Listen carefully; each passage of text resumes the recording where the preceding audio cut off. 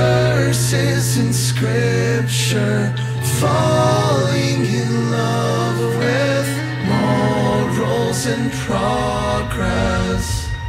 You punish your skull and your phone and your Facebook wall. Everything you share is to reinforce you.